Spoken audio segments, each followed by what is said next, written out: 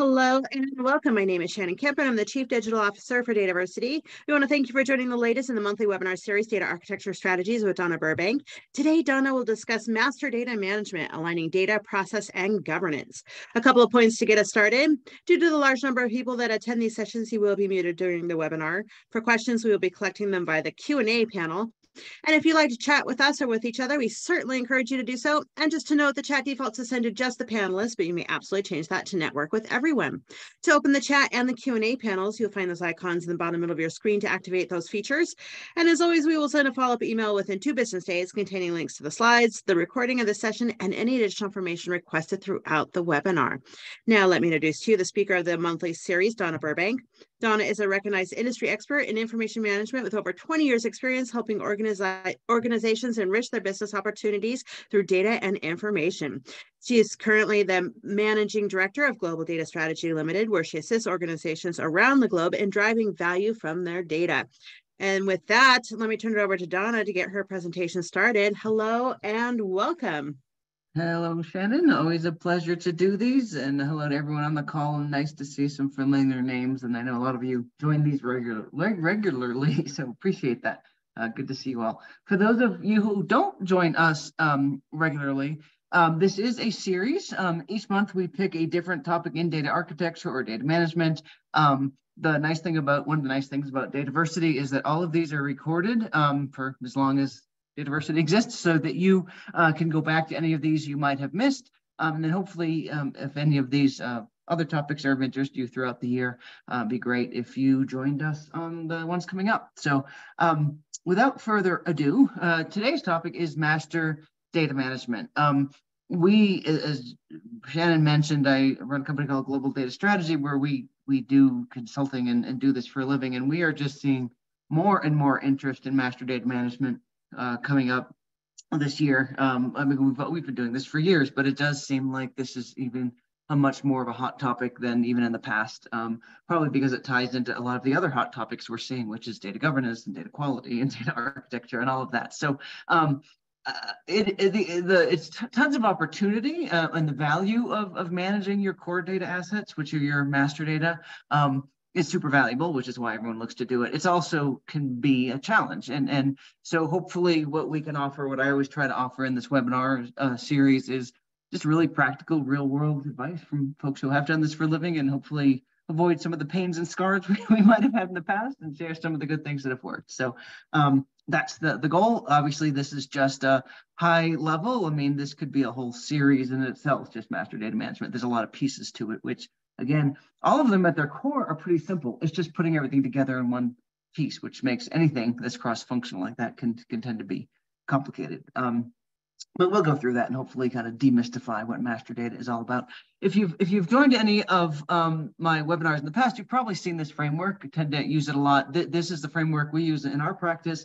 Aligns um, in many ways with things like the DAMA, DMBOK, or Data Management Body of Knowledge. Um, um, and, and, and we use this in our own practice all the time. So master data management is a key part of any data management effort and, and any data strategy. We always try to make it make anything we do look strategic, uh, just I can talk today, strategically across the organization, particularly with master data management. It is the linchpin that makes your company run, right? So you need to align it with your business strategy. Um, to make sure that we're getting that correct single view of the customer and product and, and why we're doing it. There's a lot of other touch points um, uh, with master data in, in, this framework. Data governance is a big one, right? Master data, why it's master um, or core, a lot of companies are using that term now, is um, because it's touched by a lot of groups and, and what, what happens when you have data that's shared by a lot of different groups, you need something like governance, right? So that naturally fits in. You know, a lot of these other things like data quality, that's a core part of master data management, data architecture and the modeling and the hierarchies. And, you know, so almost all of these uh, touch in, in some way or form master data, which, which makes master data is super powerful, um, but also takes a little bit of planning and coordination across these areas because when you do get it right, that's what really drives your business strategy and really, you know, those are the companies that are working really efficiently and really well across the organization. Um, so what is master data management? I'm a uh, data management person, so I love my definitions. I put that in the glossary, right? So, uh, and I like to use Gartner. They tend to have some really good um, definitions. I know there's, there's others out there, but you know, master data is the consistent set of identifiers and attributes that define the core entities of the enterprises, including you know customers, prospects, citizens, suppliers, sites, hierarchies, chart of accounts, things like that. Uh, and then obviously master data management is the management of master data, right? So, um, but but really, I, I like their definition in that it does talk about it's a technology enabled discipline, um, but it allows business and IT work together for all of the you know data stewardship, semantic consistency, accountability, right? It really touches all of it. There are master data management tools out there. Highly recommend you use one. You can build them yourselves too, but you know there's a reason that folks have built tools around these. But it's not a technology solution only, right? And that's what makes it sort of complicated. You have to get the right people in place. I like the fact that they mentioned cons- cons- semantic consistency. We'll get, we'll get into that on this. You know, what is a customer? What is a product? What is a citizen? Right? All of these things that drive your business that seem like it would be so simple. You know, the, the more that it drives your company, there's probably a lot of nuance to it. So that even that semantic consistency or the the basic data definitions and data modeling hierarchies around what is the thing is really important because everyone the, again the more people that touch it they all have their own viewpoint around that so anyway that's what we're talking about um, another way to look at that and this is an actual picture from an early cave dwelling in Paris, I think it was, when they were excavating, excavating some of the tunnels. Obviously, I'm kidding, but they um, when you look back, we are visual creatures, right? And, and we often, you know, when you think of, you know, the, the cave people way back, they drew on the walls things that were important to them, pictures of themselves, the animals, you know, that was probably their early master data. What did they do for a living? They hunted, right? And you could just tell that.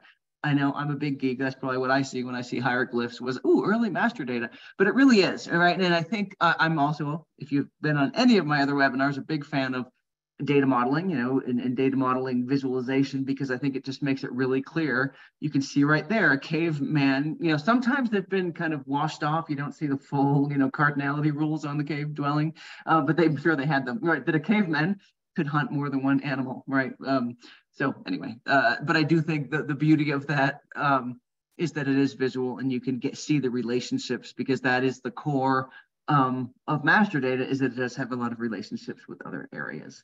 Um, sorry for my bad jokes today. Um, so um, moving on, what is master data? And, and, this is another odd Donna slide, but one of the reasons I love my job uh, on a good day is that as a consultant, you go into so many different kinds of companies, right? And you really understand how their business ticks and then the data behind that. And I almost forget that, you know, I'm actually seeing a lot of stuff about a company because data runs the company, right? I'm, I'm not really thinking about that. I'm thinking about the data itself, right? But it really does drive. And when you think of examples of master data, I find it fun to kind of think of all the different companies we work for, especially now that everybody's doing data. The, the idea of being a data driven organization is hot, right? So it's not only anyone who's been in the industry, um, you know, for many, many years, we've all worked in finance and we've all worked in some of the big you know government and things like that. Um, and the idea of you know customers and product is, is sort of your classic master data. But now that so many different kind of companies are, are coming into the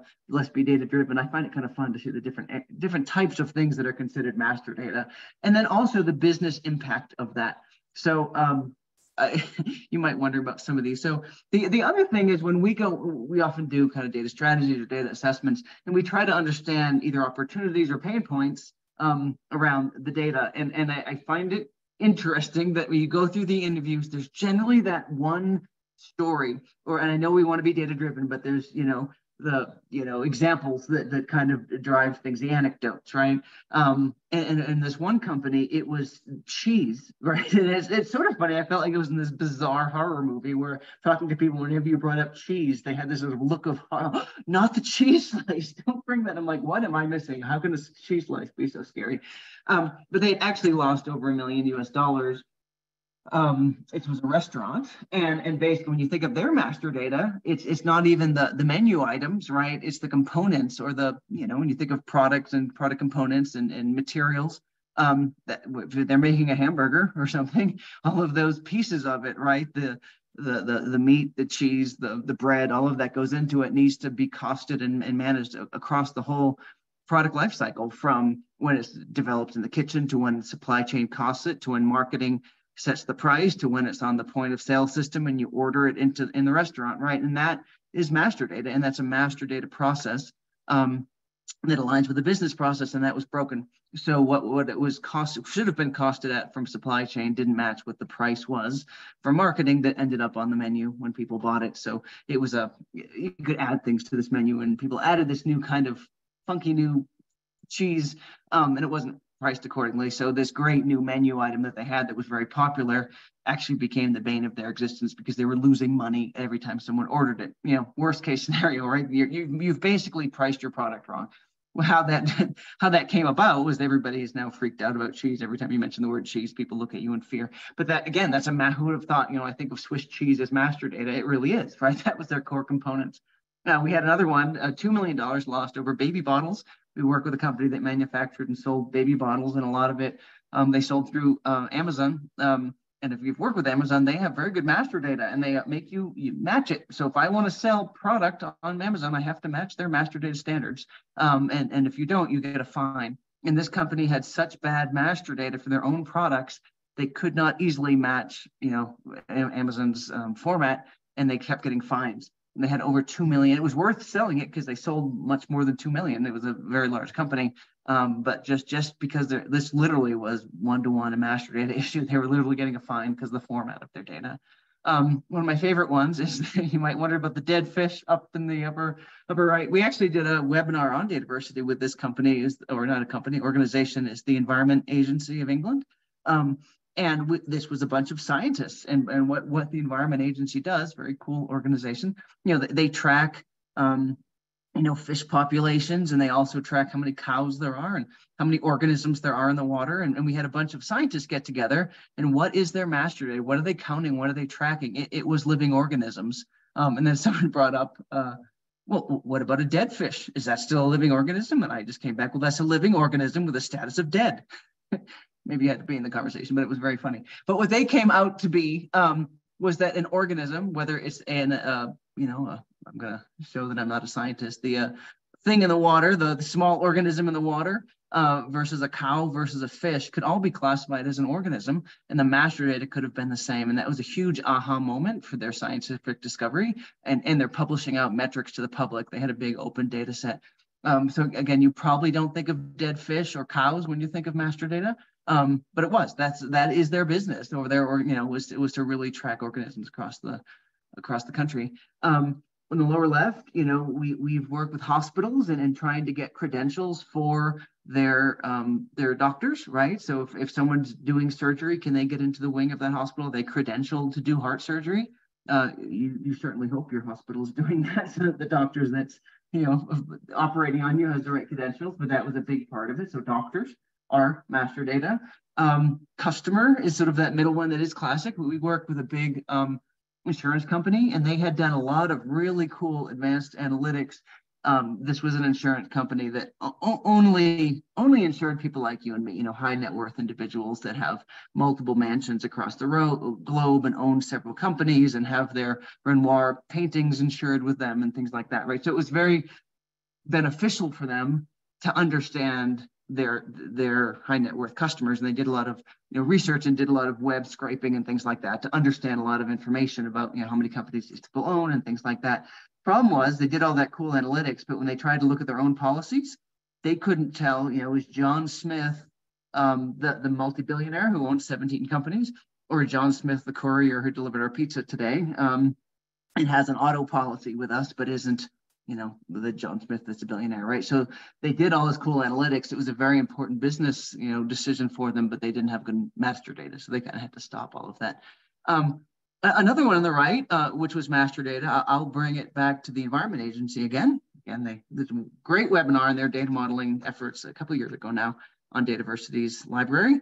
Um, and, and another piece of their data, their master data, was regions, or they call them catch, catchments, right? Of if I'm if I'm dividing up the country of England, um, what are the different areas that these organisms live in, and and they they publish maps and things like that. So actually, location um, might, might be something for a, a retail company. What are our different locations around the globe? Um, or you could argue that maybe that's reference data. Isn't location a, a reference data item, right? And, and this is all subjective. What um, what is one person's reference data might be someone else's master data, right? It really depends what your organization is doing for a living. Location is one that often is uh, master data, the other thing, and I, I won't go through all of my Donna rants, but I'm also amazed that the importance of this information, multi-billion dollar companies or organizations or governments we've worked with, it's classic to have this in somebody's spreadsheet, right? And often they're named, oh, it's the Mary spreadsheet or the Joe, the Joe spreadsheet that has all of our locations of all our retail, you know, sites across the globe. And I'm I'm, I'm still flabbergasted by that. I'm not anymore because I see it a lot, but that that's kind of scary. That is those those are your golden nuggets of your organization. Probably the worst one I've seen, um, or best, if you want to tell the story. It was with a big water company, and they did a lot of acquisition. So merger and acquisition is always a great use case for master data because you're trying to, you know, the core assets of one company need to be aligned with another. Um, so they, this water company had acquired a smaller water company and wanted to get all of the, the, the customers or the subscribers. Um, and it was a small local water company and they literally had it in a paper notebook where it was written down on paper and with ink. and was, it was a little hard to scan in. They were trying to automate that process, but you couldn't, it literally was on paper. You don't see that a whole lot. Usually it's a spreadsheet, but you know, even, even in this day and age, that was only a few years ago. Um, it was literally written down on a notebook. So who knows? But that, hopefully that gives you some different examples of master data just to stretch the story a bit longer. I, I just started to go through, you know, I, again, this is where my job can be fun, uh, just to, to keep going on the cows, right? So the Environment Agency was um, actually uh, counting cows. That was one of their master data items as living organisms. Um, and then I, we worked with one retail company, or it was a, um, and, and they actually sold uh, adult cow suits and the master data was, you know, cow suit, adult size, large, you know, but is large L or is it the word large? You know, so we we had a good laugh over that. Of um, anyway, that that was one of their master data items. Or you know, when you look across a trademarks uh, over the upper right, that was a master data for one of the um, government org organizations we worked with. Uh, uh, in the lower middle, you know, wells or drilling. If you work with oil and gas, I mean that again, a lot, a lot of the master data when you drill, oh, no, no pun intended there, when you drill into it, um, seems so obvious until you know when it is the core of your company. You, are trying to tell me that a um, an oil and gas company doesn't know what a well is, but it took years for it to have industry standards. They actually have some master data industry standards across multiple companies now. Um, PPDM is a, a, data modeling effort, um, and that took years to really decide what what do we mean by a well because because it's so common. A lot of people have a different um, you know, view on that. Um, that's right next to the broccoli, because of course, right? So broccoli, if you're a restaurant, could be a, um, a one of your core, you know, material master. Um, uh, um, to the left of the well is is a, um, a school. So what is a classroom? Um, super relevant even to what Dataversity does. Is a classroom a class where people sit in it? Could it be a virtual classroom with people sitting in it? For them, it was just the concept of a class that had a curriculum. Um, you know, a lot of types of things like that. Uh, what's a hospital? What's a location? What's a, a part? And you can kind of see all of these and kind of understand that you know, we we had we work with a, a, truck company, you know, or automotive companies, not only the automotive, but what kind of parts go into that auto and how do we track all of that. So again, I won't I won't kill this one to death. Did you kill something to death? Sorry, I'm in a mood today. Um, but but hopefully that gives you some examples of the breadth of master data. And if it's new to you, what kind of might be some of your master data items. So the classic ones, I hopefully gave some interesting examples, um, but customer still does you know, really is one of the more popular ones that people need to understand. Do we know our customer? And that could be citizens or student or patient, you know, it's not too much of a stretch. But here's a fictitious company, um, it's a sporting goods company, and these folks want to understand their customer. And I, I will talk more about this, but they want to get that ubiquitous classic need for I want a 360 view of my customer. Why? Why is this even important? You might ask. But those are fun stories, Donna, but why do I care? Right. So this is a sporting goods company. Um, this is Stefan Kraus. Um, I'm also a skier, so this will come out. I'm big. this is the story I use, right? He, he's a he's a ski instructor. I'm a I'm a sporting goods company. I sell ski boots. This should be our classic company, right? He's 31. He's fit. He's a ski instructor in St. Moritz. He lives right there in the St. Moritz Valley. He's he's he's actually a Nordic skier too. He won the Engadine Ski Marathon. He's been in our loyalty program. We know how he likes to consume. He likes text messages, and we send him ads, and he buys everything online. But when you look at how much he actually spent, he only spent about 500 euro um, for that particular year, which isn't a lot, right? Because he gets all his gear free. He's good looking, he's fit, he's a ski instructor. He gets, you know, people want him to be a spokesperson, and you know, he's actually you'd think he's our best customer, but he's not. Because when you look at the data um, and really understand everything about him, maybe we need to either market him differently, or maybe we don't market to him. He's not. He could, he could be a spokesperson, but he's not going to actually be our top seller. Um, so um, when you look at you know the data again, there's another Stefan Kraus, and he's 62, and he's a banker in Zurich, and you wouldn't think he's going to be our classic outdoor sporting goods customer. In fact, he likes sports, but it's football, and he wants to go see his soccer team or his football team. He doesn't actually do the sports so much, except for when he does go on vacation once a year. And when he does, he wants the best equipment he can possibly afford because he works really hard and he makes a lot of money. And I have friends like this. They're like, I, I only do it once a year, but I'm going to have the best equipment out there, right? And he spends it all to go on holiday and he likes to go in the store and he wants physical mail. He's kind of more old school, right? And he's actually your best customer. I will clarify that all of that analytics we just did around Stefan Kraus is not master data. It's the opportunity you can get from having good master data, right? The master data is who's Stefan Kraus? Is it the banker um, who lives in Zurich and spends a lot of money with us? Or is it the ski instructor who lives near St. Moritz who is not our best customer um, and different age? And how do you identify who is Stefan Kraus? Might also be interested as one father and one son, and maybe the father's buying all the stuff for the son, right? That, that's all the stuff you can do with analytics but master data, and I always joke, this is the story of my life. I've never been the sexy, you know, front end. We're always on the back end getting the stuff done. Is the master data that enables all of this cool analytics. How do we know which Stefan Kraus is it? Do we go by his name, his age, his address, all of that? So that gets into kind of, I just want to kind of specify that a, a graphic like this really helped me earlier in my career understand master data, reference data, transactional data, and how that fits with warehousing and data management, and maybe you won't have the big light bulb I did by this one slide, but help me, hopefully it'll help you. So again, this is sample transactional data. Again, maybe this is the, the sales system where track everything. So Stefan Kraus, I don't know which one, um, but uh, on a certain date that he, I assume, purchased a product, which is a telemark ski boot with a certain code, 250 euro, and the location was St. Moritz. I assume that's the store. Again, I have to get mat- metadata in there, right? Is that the store he bought it? Is that where he lives? I'm not sure, but right. The, and then Donna Burbank also bought the same ski boot in Boulder, Colorado. Again, is that where she lives? Is that where she bought it? But but whatever. Um, and and then you know Stefan bought assume it's the son here, or maybe it's the father, but uh, he's probably the dad because it's in Zurich, right? He bought a North Face down jacket this much. He bought, you know, Wendy Hugh bought some yoga pants at the same store in New York, et cetera. That's your transactions, right? The fact that Stefan bought all this stuff, that's probably what you start summarizing in a data warehouse. Um, the master data is who is the customer? Is Stefan Kraus was the first one, the son who bought his boots in St. Moritz, and the second one, the father who bought his down jacket in Zurich?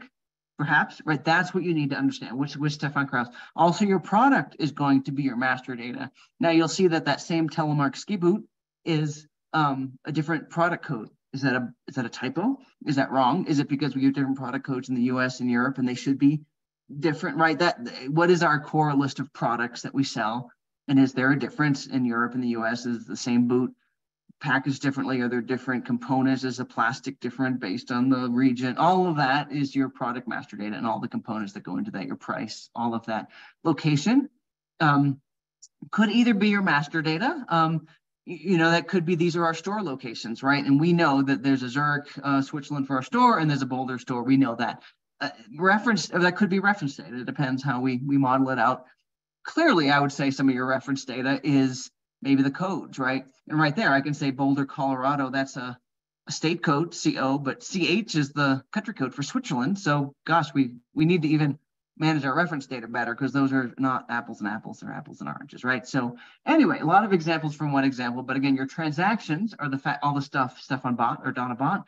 Um, the master data is who's Stefan and who's Donna and who's Wendy and who's Joe, right? Or, or what a location and what do they mean, right? So that's kind of shows you how all these things hopefully fit together. Um, kind of talked about this before, but again, one person's master data is another person's reference data. You know, it, it could be that, you know, regions or markets or locations are second, you know, say secondary, they're just lists. Or it could be, again, I'm, I'm a map company or I'm a in the environment agency and I track locations for a living, right? Or it could be the location of my store, which is a first order thing. I don't want to get too techy or nerdy about that. Um, Right, but but but you know, the, I, I I almost think of reference data as the little cousin of master data, right? They're, they're often your code lists, things that you know, your country codes, your um, state codes, things like that, that might uh, kind of be managed more statically. Um, anyway, uh, worth talking through. People get themselves in a knot about that a lot. I almost mad, you know, say I don't, I, I do care, but do we care what we call it? How do you manage it, right? Um, so how do you how do you understand all that process to understand how do I get a single view of who Stefan Kraus is. And it, it takes a lot. One, one is the architecture. How do we model out? How do we know what the unique identifier is? Is it for just first name, last name, first name, last name, date of birth, social insurance number, whatever, right? So how do you get, how do we match, merge, and understand that? But also the, the governance, who's accountable across these different um, systems right of, of you know point of sale and who who enters the data and who if the, if we see that there's more than one Stefan Kraus who know how, how, do we who, who decides that is it the system can we automate that sometimes sometimes you you never want to we work with some medical companies and and the risk of even if there's a 99.9% match that that I know that this Stefan Kraus is the dad and the other one is the son I'm going to amputate his leg. I, I want to or do heart surgery. I want to be absolutely sure I have the right patient here. Um, so often there's a kind of a human in the loop where somebody has to validate that before a match is approved, right?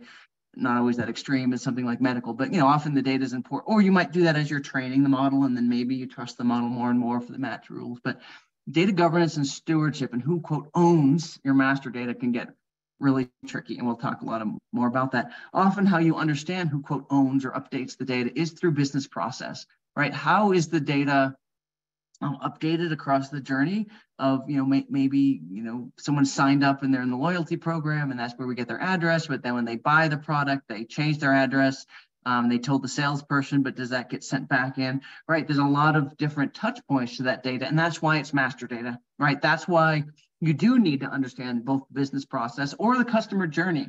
And i think often that's forgotten. We think of it from our system perspective. Okay person was um, you know, it came in the store, then it goes into the sales system, and then we invoice, and that comes out of the finance system. But what was the customer journey? I, I, often give a good example uh, for master data. When when master data works well, that's a really good customer experience. And and the only place in the world I have any, I don't know, uh, leverage or uh, I feel important is with airlines because I'm a consultant and fly around a lot, right? So, but I had an example. Um, the airline I was with, I was trying to book a flight online from Denver to London. There was a client I was going to a lot, um, and I couldn't book it online for some reason. And they said, "Could you call?" So I call, um, and, and they recognize my number clearly, and they say, "Miss Burbank, is are you calling about the flight you're trying to book from Denver to London? Um, would you like to take the same flight you took last month, and could we book that for you?" Could be creepy, but it wasn't creepy to me because I'm a data person. I knew they should know all that data. They should know my phone number. I gave it to them. They should know that I'm booking online. They should know because I logged in with my user ID and they should know all of these different things because they've seen all my previous transactions. So because they were had good master data, they knew how to identify who Donna Burbank is. They had a really good customer experience, right? Compare that to something like my insurance company where I've been trying to update my address with them online for about three years now, and they still said it's the wrong place. And I call and they update one place and it doesn't, you know, almost every negative customer, I, have ruined this for all my friends and family. They say, you know, I had a problem with the bank and I updated my whatever and they didn't. And I told them they had a master data problem. Actually, I have a friend that does it all the time because once you now see that, you almost can't see any customer interaction that's you know bad with your data or they I don't know, I checked into a hotel and they didn't have my number and, and they so they didn't know my the room preference I had, right? That's a master data problem. Or I have my bank sends me both a credit card statement and my checking account statement and my savings account statement as separate letters. They still send me letters, even though I've asked, please, I want it all online, right? That's how do they not know that Donna Burbank, one person, is Donna Burbank has three different accounts.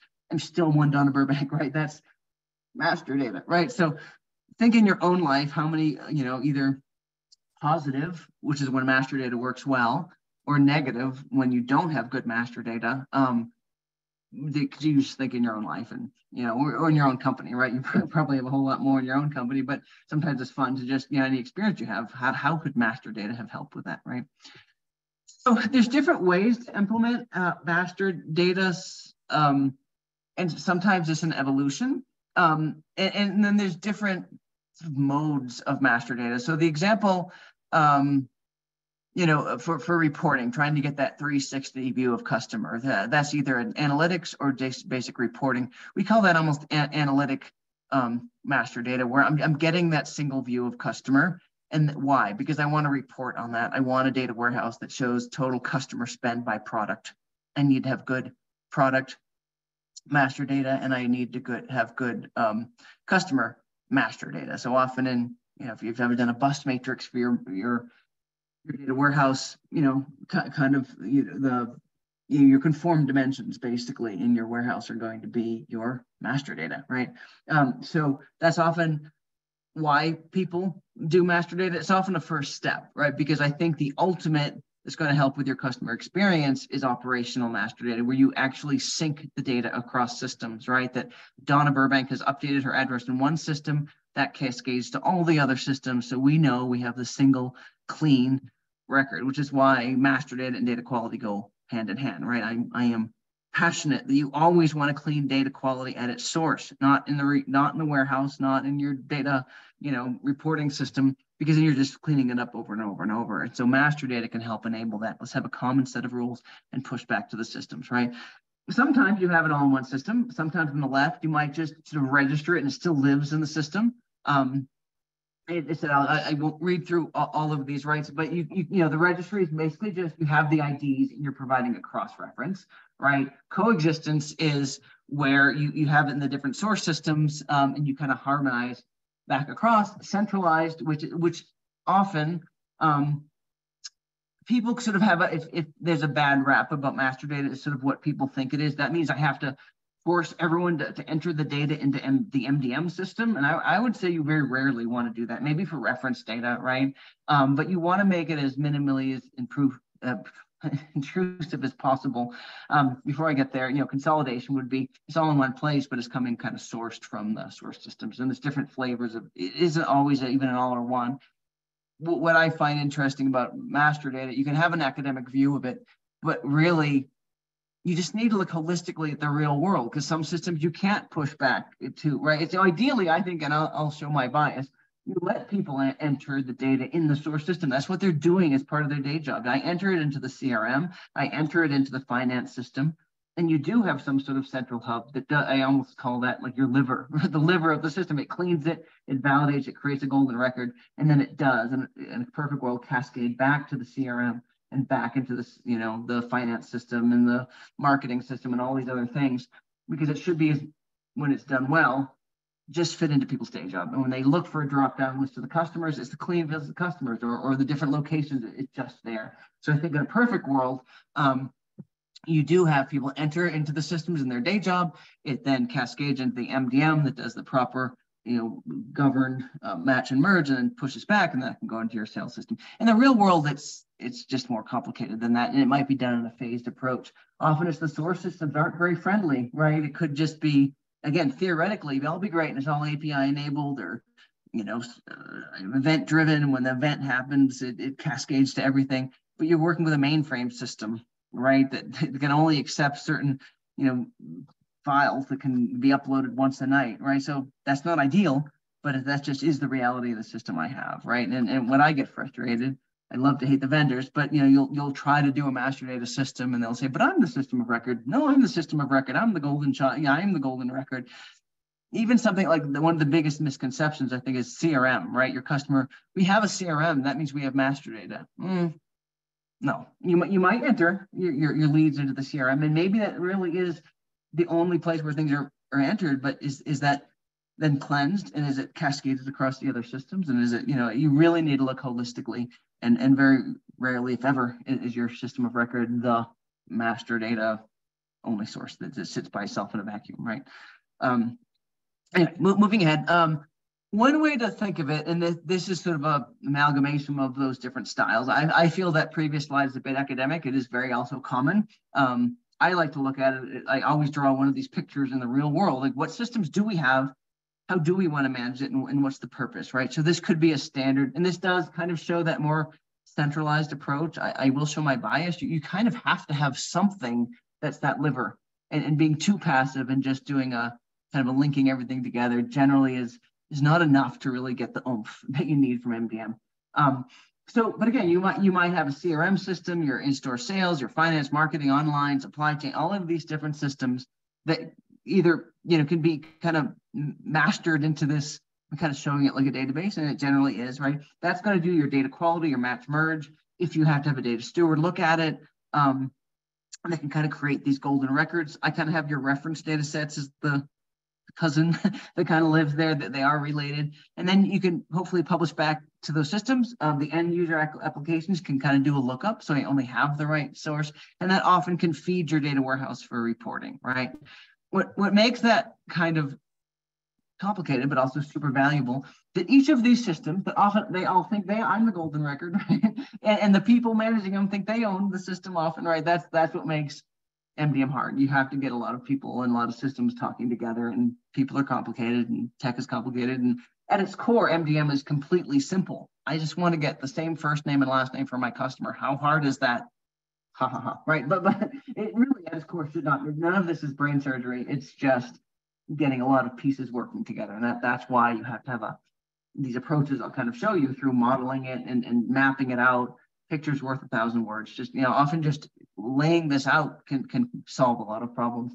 Um, but the CRM system might track first name, last name, address, you know, email, a spouse of that person, so you can send them a birthday card. You know, that, that has a certain system uh, purposes maybe when you go to the store, uh, you know, when you buy something, this drives me crazy. And I always say no, you know, what's your postal code or what's your name or what's your phone number?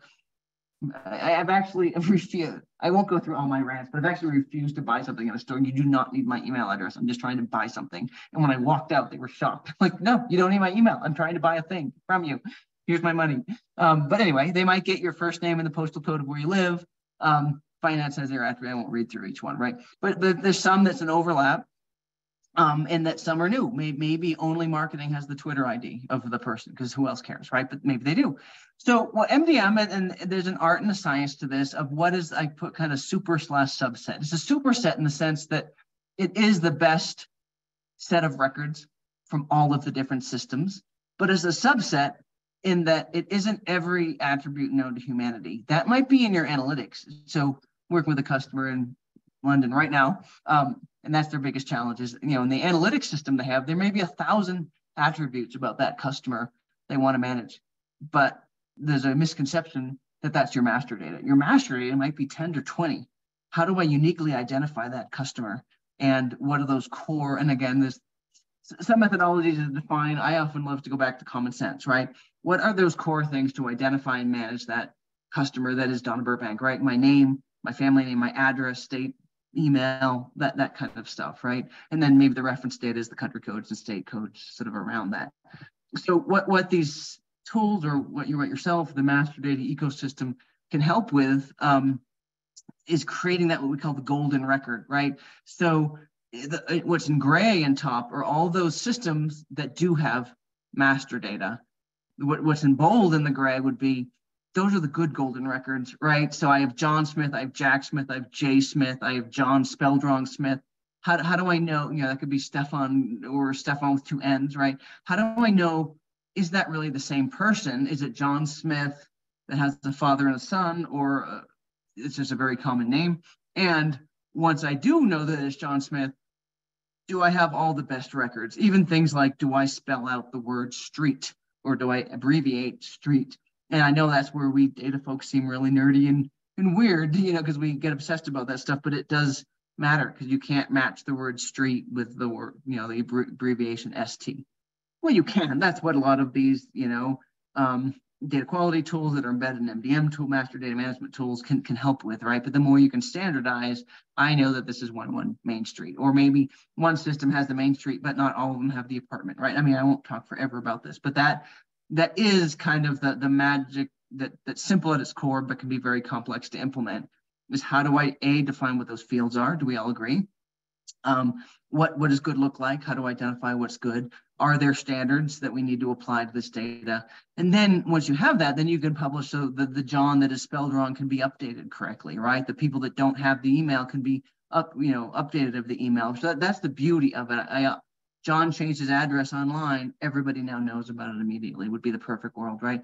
Sometimes, um, and, and, a lot of these tools, and this is where you know I, I get nervous using the word AI and machine learning because it's overused. But there is a lot of automation that you can do with this now that humans don't have to manually go through this, right? That you know, th- there's there's algorithms you can use to say, hey, this looks like a social security number, or you know, and some of it's you know human enabled. Can I can I kind of make a list that John could also be Jack, or these are common nicknames for the same name. Maybe we can, you know, help automate some of that, right? There's a lot of tools. That's why these tools um, can be helpful. You also, as I mentioned before, maybe want a human in the loop to say, hey, we think this is the same John Smith. Is this right?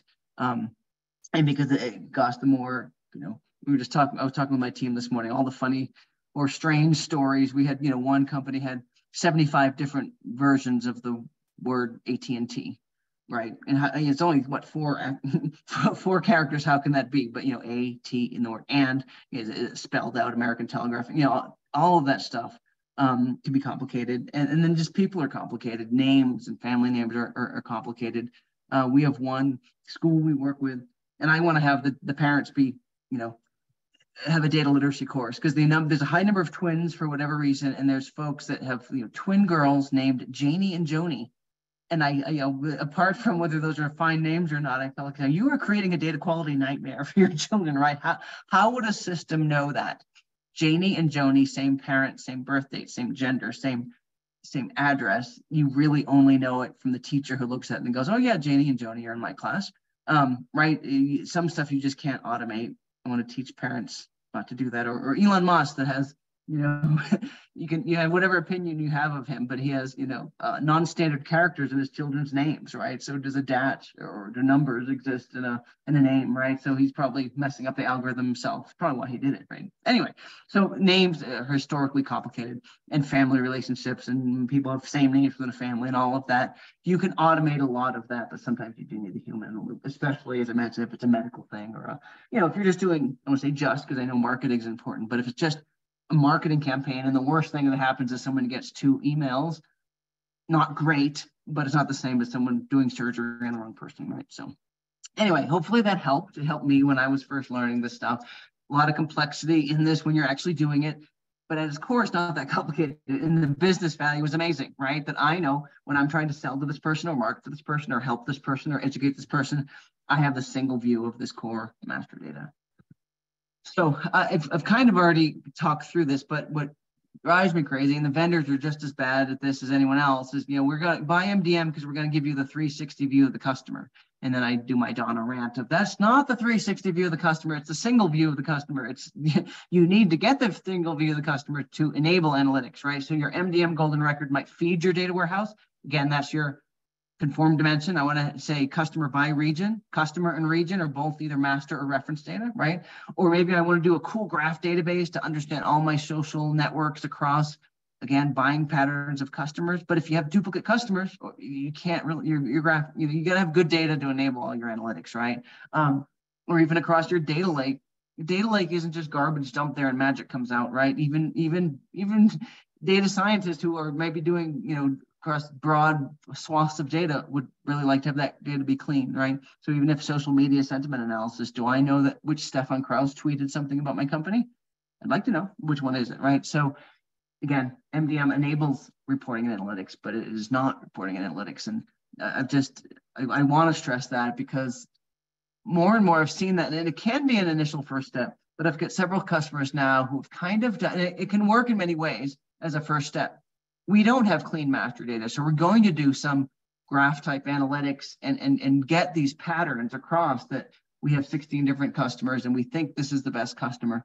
But until you actually enable that as a golden record and push it back to the source systems, it really is just analytics. You, you have some ideas and you can manually manually update, but it's, it's a first step. And a lot of the analytics type tools are the um, CDP platform, you have customer um, data platforms and things sort of I, I, get a little nervous. They market themselves as being quote the golden record, but they, they don't go all the way there, right? They're doing it kind of through analytics. You can learn a lot from that. They can be embedded in MDM, but it is not MDM or master data management. So um, the other part of it, and that what I just talked about was a bit, you know, not super techy, but a little bit more on the architecture implementation side.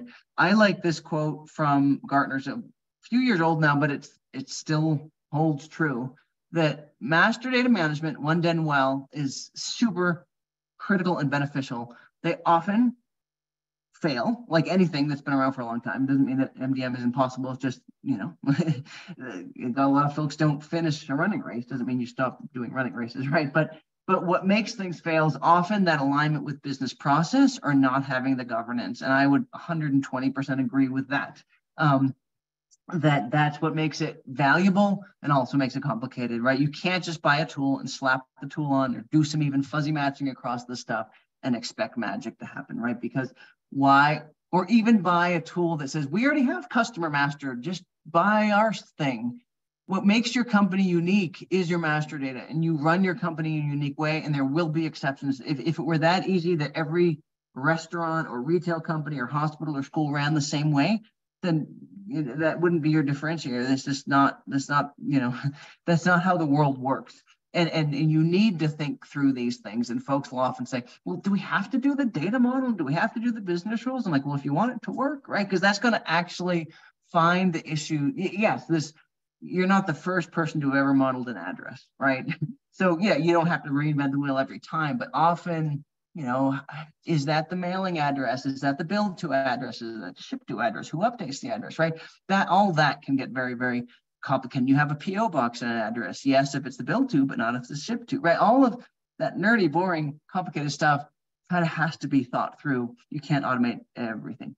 So um, thinking of data governance and stewardship, uh, I'll not go too much in, into this, but there's different ways to think of it. Do we, how do we create that owner of the data. So I have patient data or I have product data, right? Would I have a, the owner of the manufacturing process owns that product data, right? Or, or I, I've uh, customer data. Is the owner of the CRM system the owner of my customer data? That should make you nervous, right? I don't think so. They might own that CRM and know how to manage the CRM.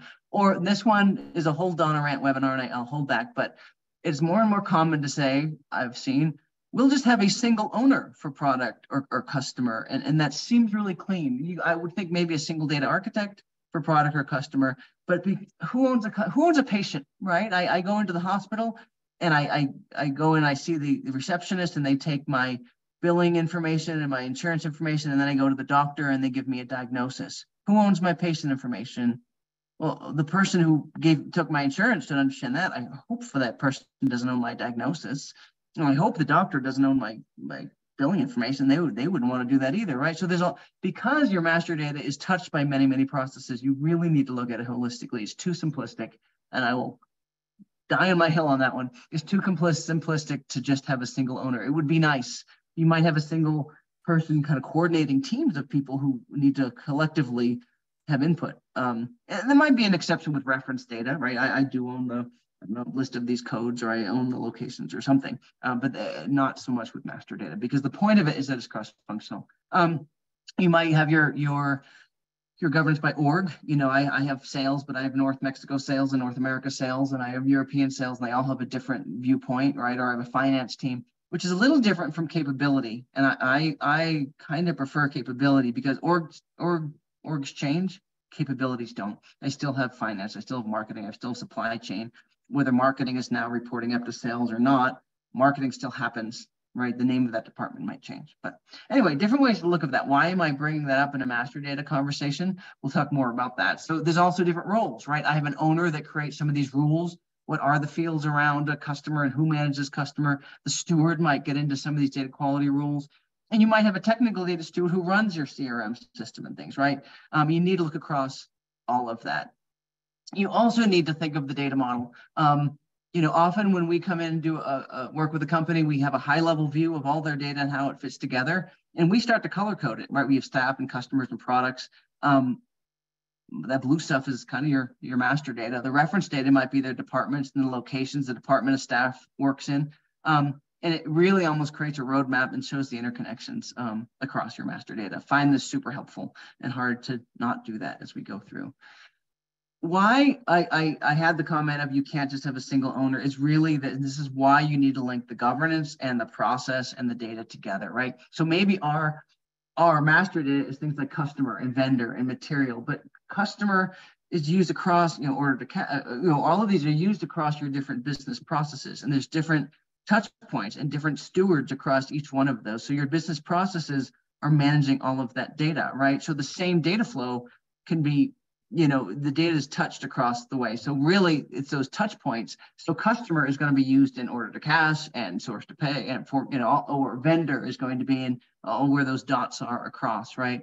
And each person is, is really looking at it in a different area. We had a success story. We often when we do these we do a workshop and we whiteboard it out and we we draw out the business process. We work with a big um, aerospace company and they were having problems with their billing um, payment terms for their vendors uh, it was always seemed to be wrong and they couldn't do financial forecasts. When we drew it out, actually say, say, say vendor right there has three dots. Someone had updated the payment terms, then someone else along later in the process updated the payment terms, and then a third person updated, and they just didn't see it because they only saw that it was a very easy thing to then quote, do we have a single steward or is there an approval process when someone does want to change it?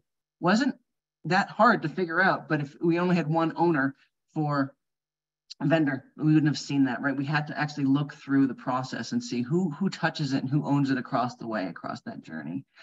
And and that's what makes it complicated. There's data management processes which design those rules and implementation. There's governance of then who does own that or steward it. And, and generally it's a, a group of stewards. Maybe there's the different ad again the patient. The front office owns my my insurance information. The doctor owns the the um, what's wrong with me, my diagnosis, right?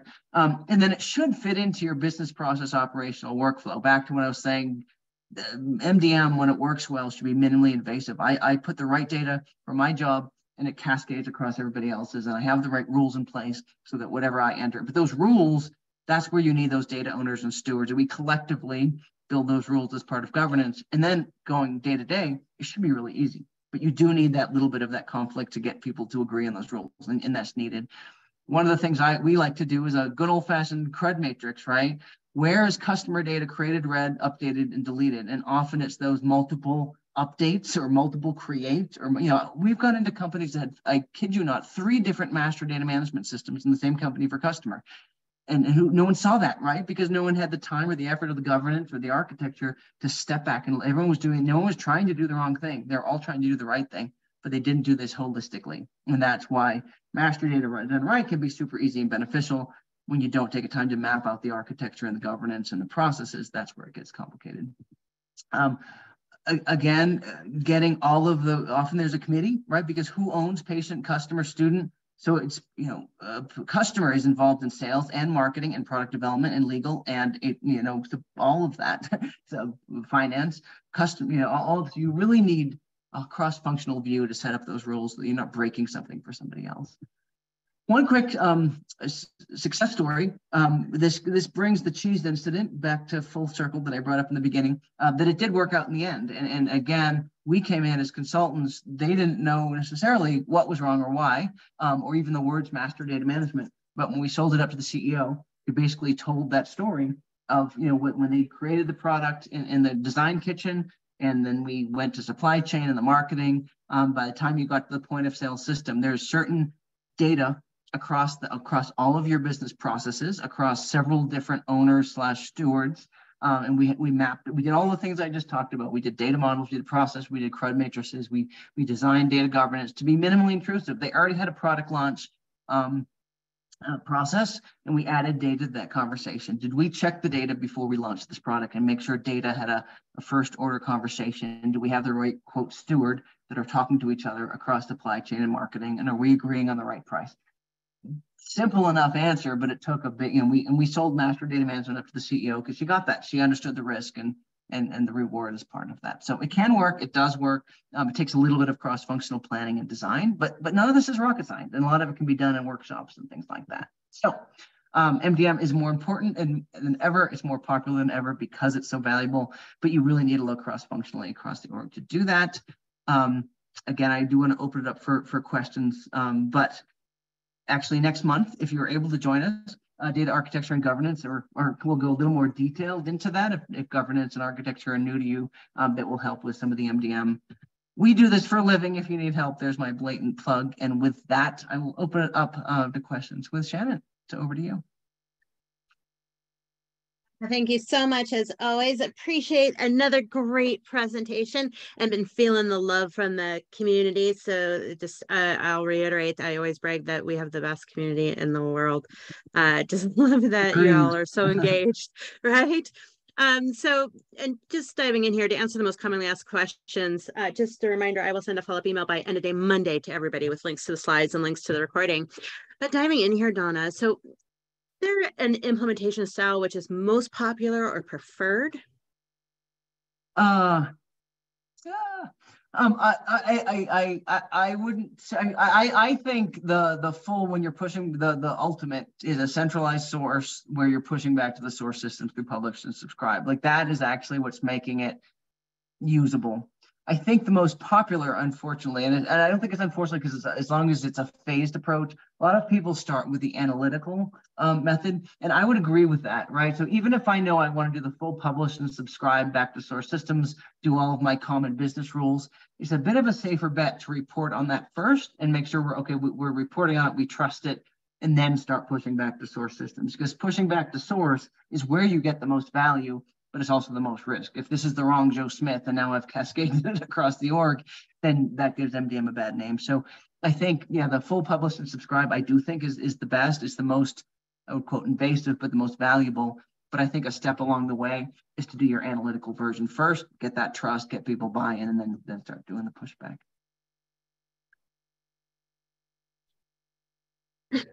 Do you differentiate mastering data from master data management?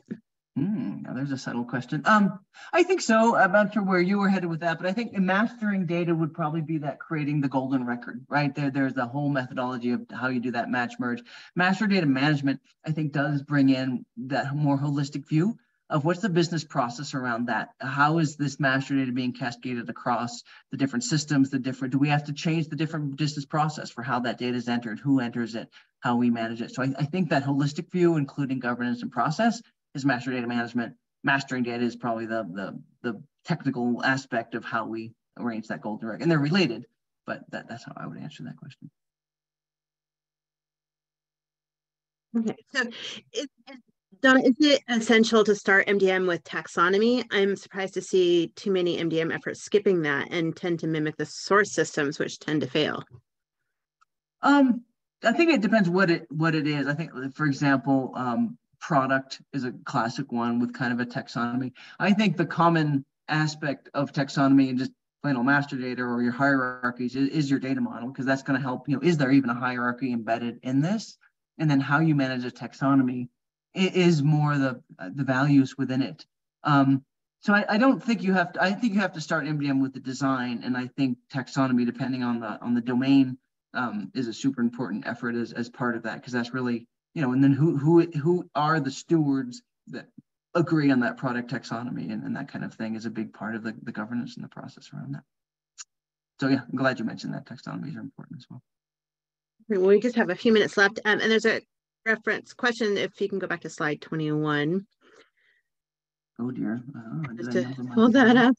Um, oh, I'm trying. Uh, see if I can get up. We can get that. I can't because it doesn't seem to want to move my slides. Yes, I can. yes. Okay. Right. Well, I'm going to leave that up for the person to ask their question. But um, in the meantime, if you have a known data quality issue and are headed toward an MDM solution, when is the most optimal time to clean the data? Oh, great question. I'm excited to answer that one. Yeah. Sorry, I, I, saw that one. I would oh, yeah, I didn't let people hear it. When do you clean the data, like before or after the implement? I, I think it's a key part of it, right? But there, there's a bit of an art and a science to that, right? If there's known data quality issues and, everyone's around that, and that's why people are asking for master data management, by all means, you want to get that is the value of master data is part of that data quality. They're embedded. I see them both the same. You can't do master data without data quality. Jump right into that, and then you're going to be the hero because we solve the billing issues, right? Because we didn't have the right addresses. Not always are people on that right uh, understand that yet. So sometimes, and you have to do this carefully, so don't tell everyone that Donna Burbank said build dashboards with poor data quality, right? But you sometimes do that, right? Because often the business doesn't see it or doesn't get it, right? So sometimes, if everyone's aware, please clean it as soon as you're possible. That's what you'd like to do in a perfect world. But sometimes people have to see the bad in order to understand, right? In the class, and I just had a customer this morning saying they've done that successfully, right? Of you could say, hey, we need to clean up address data. Okay, sure, I have stuff to do. They see the dashboard with all the different addresses. You know, we should clean up this address data. I'm like, well, thank you for bringing that to my attention. We will, right? So it's a bit of a, a push and pull there. You don't want to do risky things by, you know, doing things with known data quality issues, but sometimes it is a bit of the Jedi mind trick of if people have to see it in order to, to understand it in order to clean it, right? So there's a bit of a push and pull, which is why that analytical first step is often a really good one, so people can see it. Okay, and I'm just wondering if you have a 30 second version of the difference between data domain centric and capability centric on this slide. 30 seconds says data would be the data itself, customer, product, right? The data, those are the data, um, almost the things in your data model. Capability is like a capability diagram of the, or like finance is a capability of the organization. Customer isn't a capability, it's a thing. So one's a thing, one's a, a noun and one's a verb, right? In a way, customer are your things. Capabilities are the things you do to manage the things like marketing and finance and supply chain and sales and things like that. That might have been 20 seconds. That's perfect timing. All right. well, well done. 10 seconds after, people often get that wrong. Like what these are all words that mean things in the organization, but is it a noun? Is it a verb? What like what is it you're describing? I think people need to think through because I see that not being sloppy a lot. All right. Sorry, go ahead. That's good. Thank you so much for another great presentation, like I said. And thanks all of our attendees again, uh, just for being so engaged in everything we do. Just a reminder, I will send a follow-up email by end of day Monday for this webinar with links to the slides and links to the recording. Thanks, Donna. Thanks, everyone. Thank you everyone for joining. Oh.